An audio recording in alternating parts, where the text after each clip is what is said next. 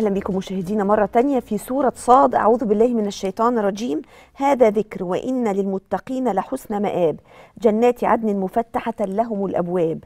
متكئين فيها يدعون فيها بفاكهة كثيرة وشراب. وعندهم قاصرات الطرف أتراب. هذا ما توعدون ليوم الحساب. إن هذا لرزقنا ما له من نفاد. دكتورة سماح عزب أستاذ التفسير وعلوم القرآن الكريم. أهلا بحضرتك يا دكتورة. أهلا بيك يا حبيبتي. ونسمع بقى التفسير من حضرتك. بسم الله الرحمن الرحيم. حمدا لله وصلاة وسلاما على نبيه ومصطفاه الآية الكريمة بتقول لنا آه إيه اللي موجود في الجنة من نعيم؟ فالآية بتقول لنا إن المتقين دول لهم حسن مآب حسن المرجع. أيوة. عشان إحنا نقعد نفكر إيه بقى الحسن اللي موجود؟ طبعا الآيات اللي بعديها اسمها بيانية. بيانية يعني إيه؟ يعني بتعرفني بتبين لي الكلام ده كان إيه. لكن كل اللي هنسمعه دلوقتي هو تقريب لشكل النعيم الموجود في الجنة لأن الجنة فيها ما لا عين رأت ولا, أذن سمعت. ولا خطر على قلب بشر. بس كان لازم القرآن يجيب حاجات تقريبية عشان إحنا نتخيل يعني زي إيه؟ إذا كنت أنا مبسوط بالحاجات دي في الدنيا ففي الآخرة أحسن من كده بكتير.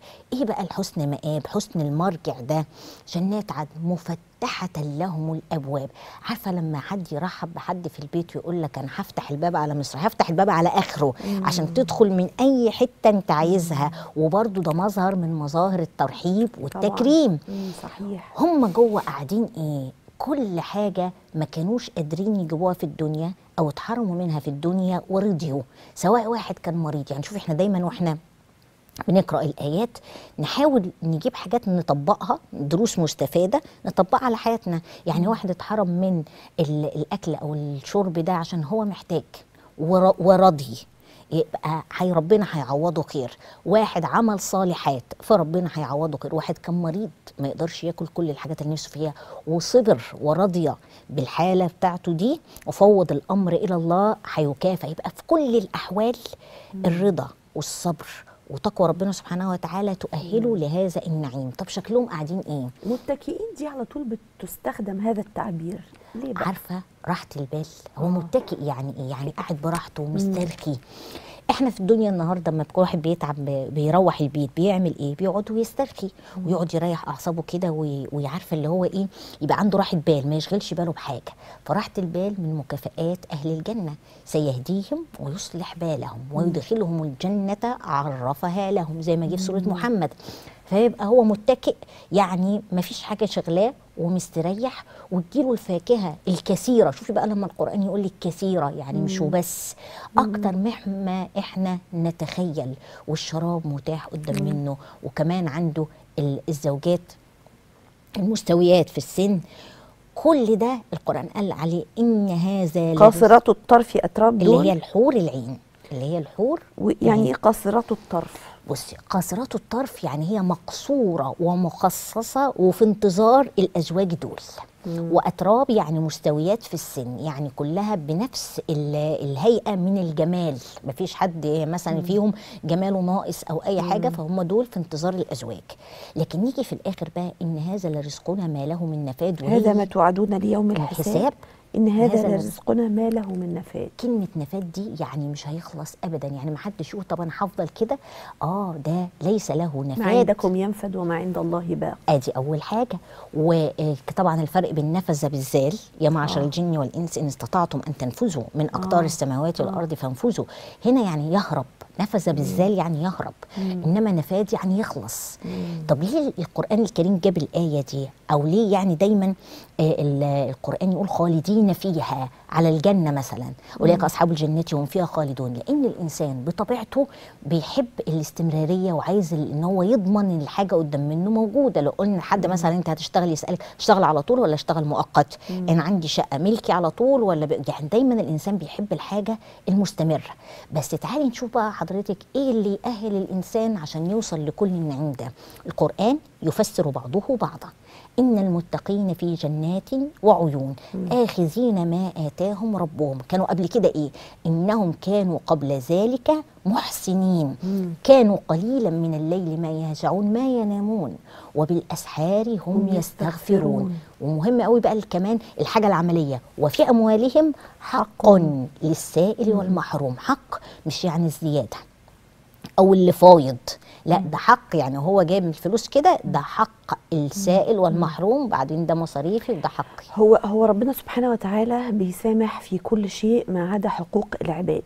الزكاة تعتبر من حقوق العباد؟ الزكاة الأول ده فرض على الإنسان. آه. تمام؟ لكن حقوق العباد دي لما يكون حد له عندي مظلمة. مظلمة.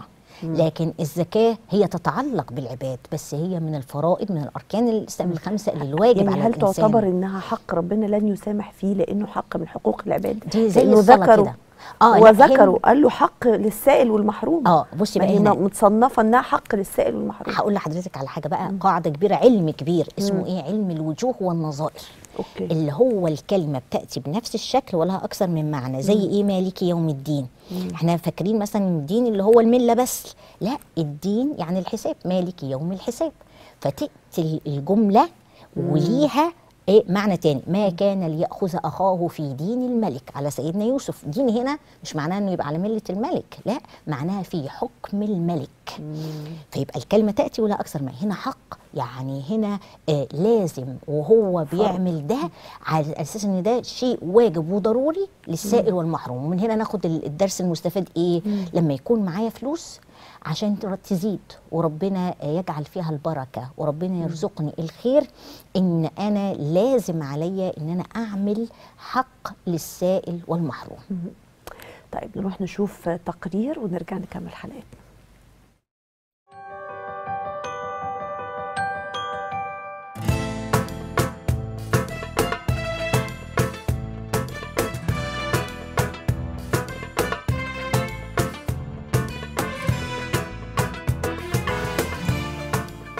بسم الله الرحمن الرحيم. الحمد لله رب العالمين وأفضل الصلاة وأتم التسليم على أشرف الخلق والمرسلين سيدنا محمد وعلى آله وصحبه أجمعين.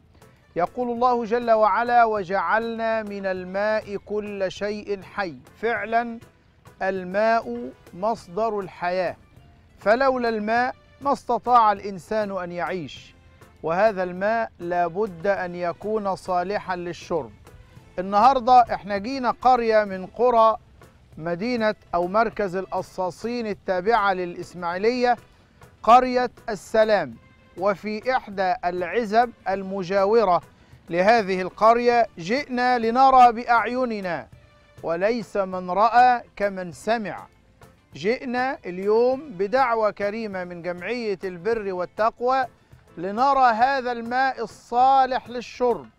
لما سئل سيدنا رسول الله وقيل له يا رسول الله سيدنا سعد بن عبادة بيسأل النبي بيقول له إن أمي ماتت عايز أعمل لأمي صدقة بعد موتها تعود عليها بالنفع في قبرها. قال له إيه سيدنا النبي؟ قال أفضل الصدقة سقي الماء.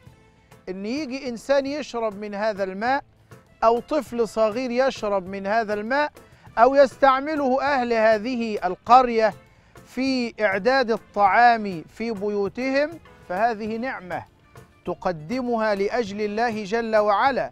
شربة الماء النظيفة تنفعك في الدنيا وفي الآخرة. قال جل وعلا من عمل صالحا من ذكر أو أنثى وهو مؤمن فلنحيينه حياة طيبة. هذا في الدنيا. طيب يوم القيامة ولنجزينهم أجرهم بأحسن ما كانوا يعملون.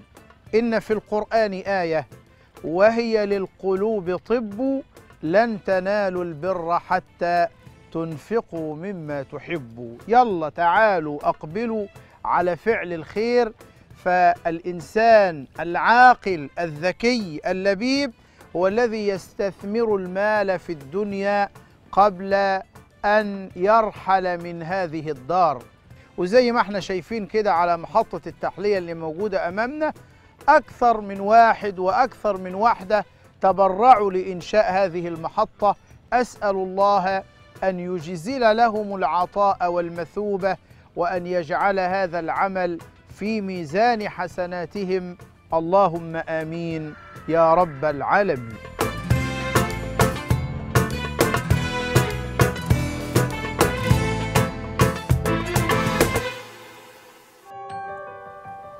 الحقيقة بعد انتهاء موسم رمضان وهو موسم الخير بكل المقاييس. يعني الناس بتقبل على فعل الخير بشكل كبير جدا لكنه يعني فعل الخير برضو مش موسم واحد فقط والإقبال آه، يعني المفروض يفضل زي ما هو. آه، يعني آه، طبعا الناس بتحب إنها تعمل الحاجة اللي أجرها مضاعف. إنما بعد رمضان الأجر بيقل أو كذا هل دي حاجة نفضل حاطينها في دماغنا إنه أصل الأجر بيقل لا خلينا رمضان الأجر يبقى مضاعف أحسن هو مين اللي بيعطي الأجر ربنا سبحانه وتعالى آه،. يعني ربنا هو اللي بيقيم عمل الإنسان مم. على قدر الإخلاص وقدر النية صحيح. يعني شوفي حضرتك الآية المذكورة في التقرير فلنحيينه حياة حياة طيبة. طيبة. ده مين اللي بيعمل صالح من ذكر أو أنثى يعني إحنا دلوقتي بنمنع عن نفسنا الخير الكبير عشان استنى رمضان الجاي وربنا هو الذي يعطي التقييم ويعطي المكافآت. وما أدرانا إن الإنسان يفضل لرمضان الجاي وما أدرانا إن العمر يمهل الانسان بس عارفة حضرتك دي من مداخل الشيطان اللي هو بيقعد يوسوس بيها للإنسان. أصل الشيطان مش بيجي مباشرة ابدا. يعني ما يجيش واحد كده بيصلي وملتزم في الصلاة يقول له لا ما تصليش. لا ما يعملش كده. يقول له إيه؟ آه أجل الصلاة. طب استنى العصر مع, مع المغرب. أصل دلوقتي حر أصل دلوقتي برد. أنت جاي مرهق. أي بقى حاجة يقولها للإنسان. أهو برضو الصدقة. يقعد يقول له إيه؟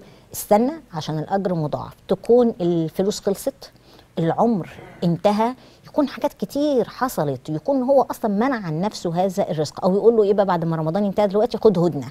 استريح شوية. أنت تعبت كتير في رمضان. يعني ده رزق بيأتي للإنسان. وبعدين إحنا كل ما نيجي نقرأ القرآن ونشوف الخير الكبير اللي ربنا آه يعني وعد بيه المكافآت للمتقين اللي من صفاتهم. أول حاجة أول حاجة الايه دايما بنذكرها عشان الناس كمان تفتكرها. وسارعوا إلى مغفرة من ربكم وجنة عرضها السماوات والأرض أعدت للمتقين. في صفات لكن أول واحدة الذين ينفقون في السراء والضراء. بصي بقى حضرتك كمان لما دخل الشيطان يقول له إيه؟ أنت دفعت كتير فاستنى لما يبقى معاك فلوس تاني. لا إحنا بندفع عشان الفلوس تيجي عشان صحيح. الرزق يزيد. صحيح. بس هو التذكرة. يعني إحنا طبعا هنا مع حضرتك بنذكر وكل واحد لازم يخلي ال- الحاجات دي قدام عينيه كده. أذكر وأفتكر إن في حق. يفتكر إن إن أنا أساعد غيري ده مش شيء ثانوي مش شيء يجي في الآخر. ده شيء لازم أعمل حسابه في مقدمة الأمور اللي أنا بهتم بيها. آه، ربنا سبحانه وتعالى آه، يعني ذكر في القرآن الكريم كلمة الصدقات. يعني كان يقصد بها الصدقات بمعنى الزكاة أم الصدقات؟ اللي هي في الايه بتاعت إنما الصدقات للفقراء والمساكين. لا طبعا دي مصارف الزكاة الثمانيه بس هي آه، يعني آه، ذكرت هنا بلفظ الصدقات وتعرف بعد كده الآيات وضحتها والرسول صلى الله عليه وسلم في الأحاديث اتوضحت إن دي مصارف الزكاة. بس الكثير من الآيات وأقيموا الصلاة وآتوا الزكاة بصي حضرتك حتى قرنت الزكاة بالصلاة ليه عشان هي الترجمة العملية للي انت اللي اعتقادك وما أنفقتم من شيء فهو يخلفه أو أنا باخد من الصلاة إيه اللي هو الصلة ما الروحية. وقر في القلب وصدقه, وصدقه العمل العمل. فالعمل ده أعتقد هو الحاجة اللي ظاهرة واللي بيبقى لها مردود للناس. طيب فكرينا بالمصارف كده. إنما الصدقات للفقراء والمساكين والعاملين عليها والمؤلفة قلوبهم وفي الرقاب والغارمين وفي سبيل الله وابن السبيل. وفي سبيل الله دي بقى اللي هي ادتنا كل خير تعمله. يعني مثلا في سبيل الله في كل شيء أجل ابتغاء مرضات الله. يعني ينفع تدفع في المستشفى ينفع تساعد حد مريض ينفع إن أنت تجهز الأيتام بس برضو دي داخلة في الفقراء والمساكين. يعني عارفة حضرتك فتخليك تعمل خير. طيب أنا دلوقتي هكون مقتصر على الزكاة بس لا اللي عنده مقدرة ده خير جاي لك. يعني تعمل إيه؟ يعني إن أنت ادفع أو أنفق ينفق عليك. زي ما إحنا بنقول دايما. افتكر إن زي ما إحنا قلنا فأما من أعطى واتقى وصدق بالحسنى فسنيسره لليسرى. هيفتح ليك باب الخير والتيسير والراحة في حياتك والبركة. ومثلا أي حد عنده مشكلة يتصدق. أنا دلوقتي شايف إن مفيش آه، وفاق بيني وما بين أولادي أتصدق وادعي أيوة. ربنا إن يبارك لي فيهم. طيب نروح نشوف تقرير عن مستشفى البر التخصصي آه، اللي عاملاها جمعية البر والتقوى المصرية. ونرجع نكمل حلقتنا.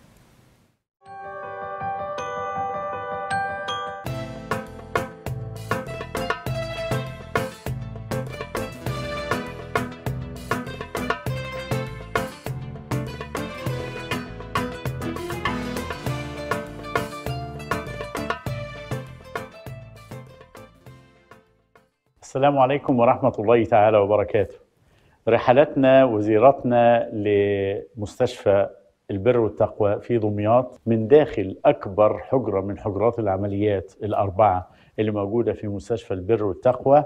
إحنا جينا قبل كده ولكن ما كانش هذا المكان معد بهذه القوة زي ما نقول أو عدد الأجهزة وأي جهاز هنا زي ما إحنا شايفين ممكن يصل سعره على الأقل لحوالي 6 أو 7 مليون جنيه زي ما أقول الجهاز الأشعة موجود زي ما أقول إن سرير المريض بيتحط عليه عشان يتنقل من السرير اللي جاي من الأوضة علشان بالمريض وبيتنقل على السرير العمليات اللي إحنا شايفينه.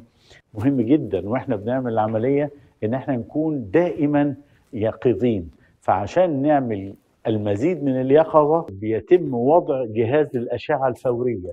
بالفعل عندي أجهزة المناظير اللي موجودة موجودة معايا هنا ده جهاز المناظير اللي موجود. وبعد كده بجهز من جهاز المناظير دوت إن أنا هعمل منظار للمريض اللي موجود قدامي.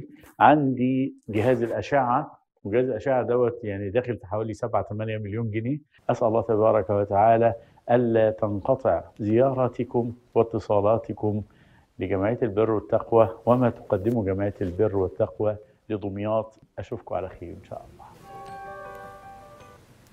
المستشفى آه، يعني تجوز فيها الصدقات وتجوز فيها الزكاة آه، آه، تندرج تحت الفقراء والمساكين وابن السبيل آه، فيها فك كرب وفيها آه، يعني الوقوف جنب الناس في أكبر محنة ممكن يواجهوها في حياتهم وهي محنة المرض ربنا يشفي كل مريض وما يعرضش الناس إن هم يبقوا مرضى ومش لاقيين مكان آه، يعني يتعالجوا فيه.